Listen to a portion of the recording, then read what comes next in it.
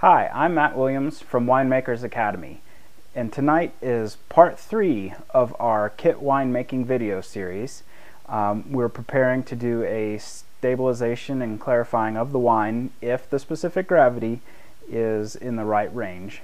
And checking our instructions, it needs to be at 0.996 or below. So to get started, we're going to remove our airlock here, uh, being careful not to get any of the, the liquid there back into the wine. Uh, this has been unopened since it was racked in part two. So we've kept the temperature fairly close to where it needs to be, perhaps a little bit on the cool side. So when that happens, it can prolong fermentation and you just have to wait longer for it to finish. And it can also take longer when we get to the degassing process. Um, so we'll go ahead and get started by removing the airlock. This is a very snug fit, so you want to go nice and slow and work out everything as gently as possible. And now that we've removed the airlock and gotten rid of the old water there, we're going to go ahead and pull out the plug and we'll get to our specific gravity tests. And this is our um, wine thief here that we use to get a sample from the wine.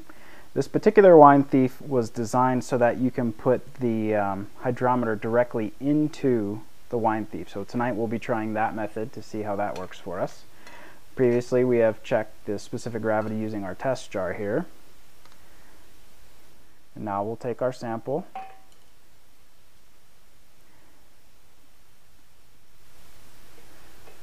So we've got a 0.92 specific gravity, which is less than our 0.996, so we can go ahead with our degassing and then our stabilization and clarifying.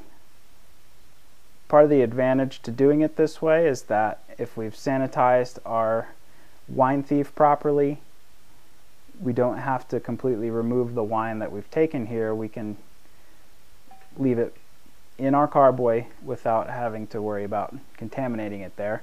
So that was the purpose of this particular wine thief being clear as it is. The next step is to take one half cup of cool water and we're going to dissolve into that packets three and four from our wine kit.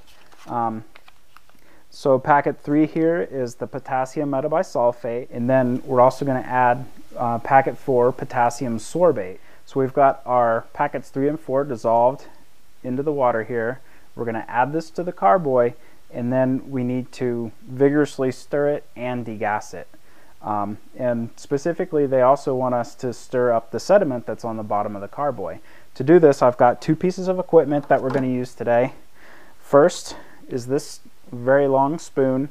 Now the actual spoon end of this does not fit into the carboy but the, uh, the paddle end will so that we can really reach down to the bottom. And then for degassing, I've got another tool, and this is a wine whip. Um, with this shape, it will rotate around inside the carboy and stir up everything. This plug will seat right where our airlock does. And this end of the uh, wine whip actually will attach to a drill so that we can really stir this very quickly. So without further ado, we'll get to adding this in and mixing it up.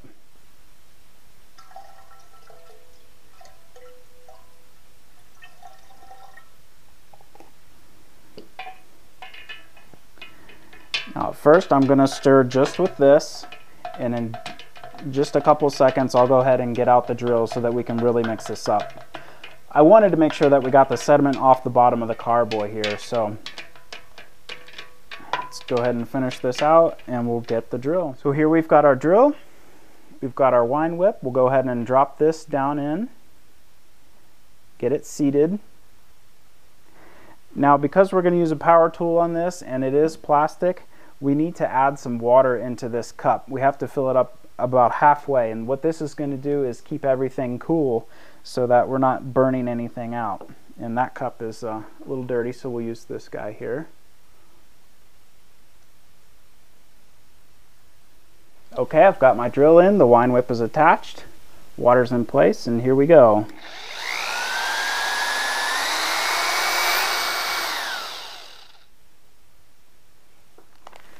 For the next step, we're going to mix up our Chitosan, which is a fining and clarifying agent here. They want you to stir it up a little bit, and then we're going to pour it in here, and we'll do another two minutes of degassing.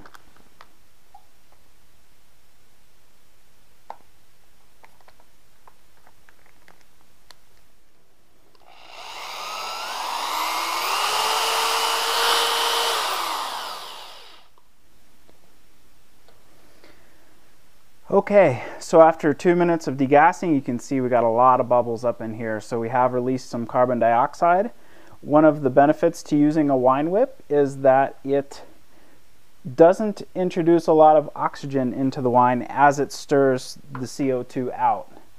So it really is a good tool to have for doing this step here. Okay, for the last step, we're going to make sure that we got enough CO2 out of our wine. And to do that, we're going to take a sample of our wine, fill up the test jar halfway, and then we have to shake it by hand and see if it releases any pressure, which would be any additional CO2 that's coming out of the wine. So we'll take our sample now.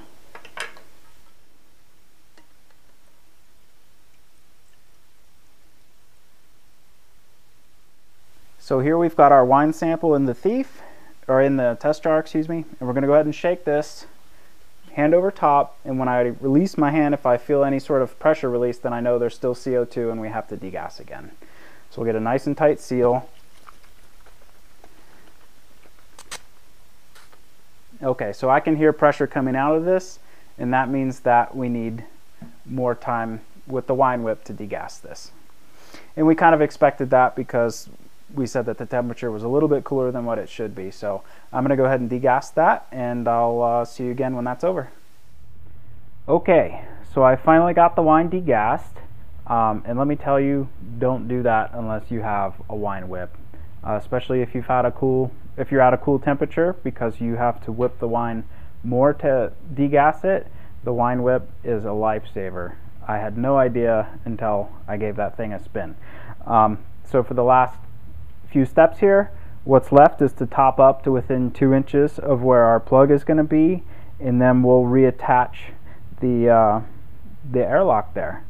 Um, so when you're topping up, there's really three options that you have. If you go by the kit instructions, they want you to use cool water.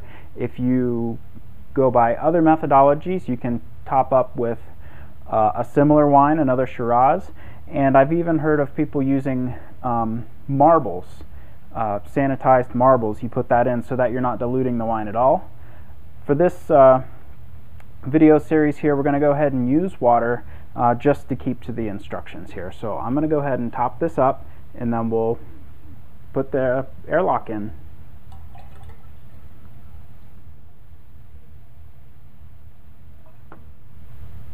Okay, so we've got our airlock in. We're topped up to within two inches of the bottom of the plug and at this point, it's just a waiting game. We'll wait for 14 days and then we should be ready to bottle. Um, if anything didn't go right, we'll know because the wine won't clear. So if it doesn't get to a point where it looks like a nice finished clear wine, then we know that something was amiss. If it is clear, you're free to go on to bottling. So thanks for watching this session. Um, we will be back with another session for bottling. And if you would like more tips and videos on winemaking, please stop by winemakersacademy.com. And if you have any comments or questions, you can leave those in the comments in this post, or you can just email me at matt at winemakersacademy.com. We'll see you later.